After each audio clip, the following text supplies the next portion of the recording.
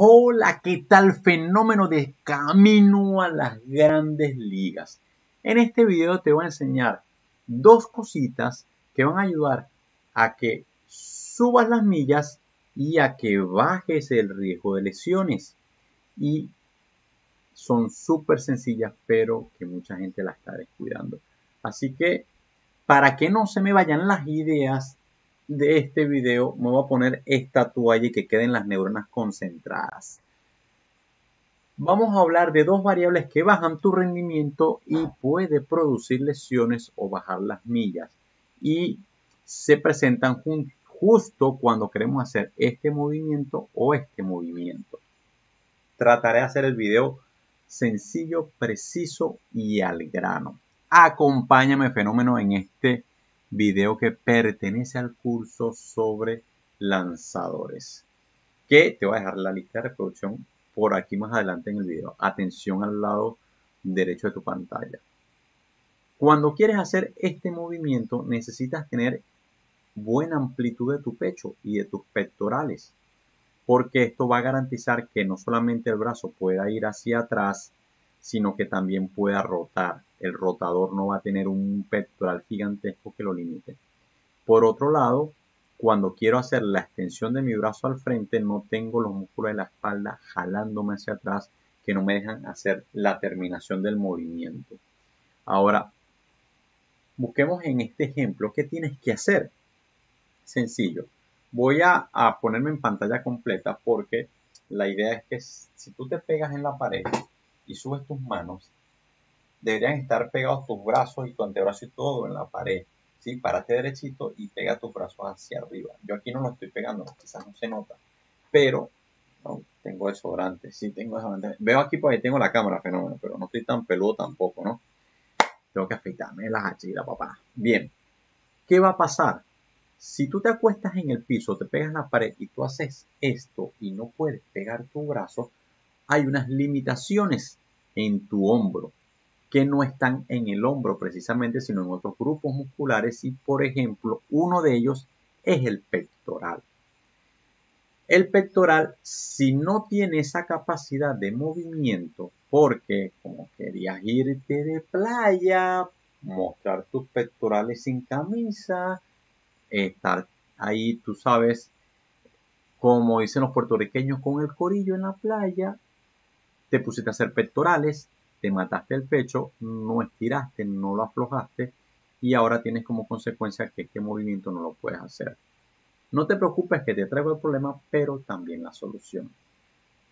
Una solución es estirar y todo el mundo lo hace, correcto. La otra solución es buscarte una pelota. Aquí tenemos este fenómeno con barba de cabra, barba de chivo.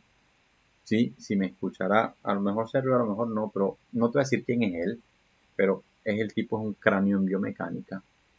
Y con una pelotica justo en este punto, aquí en este punto, aquí, en este punto, bien. Ah, yo no te estaba mostrando nada. Perdón, perdón. Debo decirte que este es el pectoral y que... No, como que grabo otra vez este video de nuevo o no. No, no lo voy a grabar de nuevo. Así te vas a quedar. El pectoral, pectoral acá si tú pones la pelota justo acá, y este es el fenómeno que le está diciendo que tiene bigote cabra, bigote chiva, aquí está la pelota que se llama pelota de la cross o una pelota de goma que tengas en tu casa. Este es el ejercicio que tú estás haciendo con barro, con mancuernas, que te estás matando el pectoral para ponerlo bien definido, bien tallado y que te está limitando en este movimiento. Entonces, recomiendo que hagas de 1 a 2 minutos, ¿sí? En series de uno o dos minutos ahí de dejar el brazo fijo. Puedes tener el brazo en reposo o el brazo en estiramiento.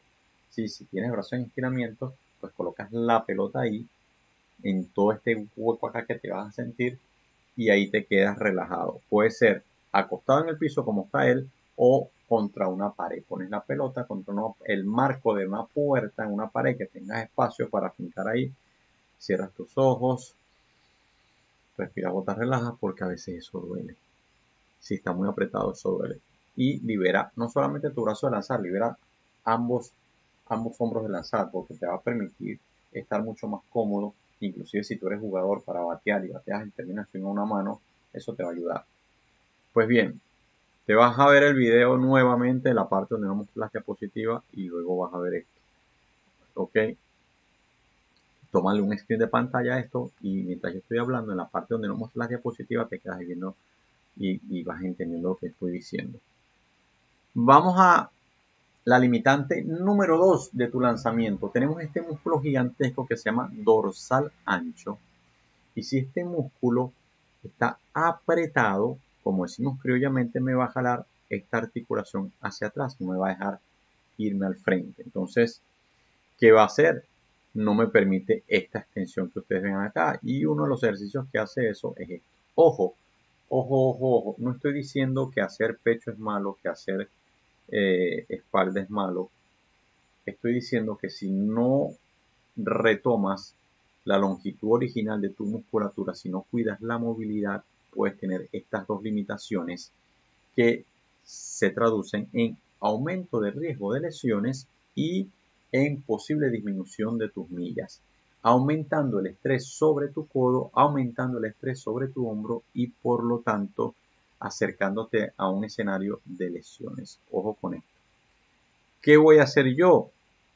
Sencillo, colocar una pelota que no esté completamente inflada, que no sea tan dura, porque esto también va a doler si está apretado, y te masajeas toda esta área de acá. Te masajeas toda esta área de acá.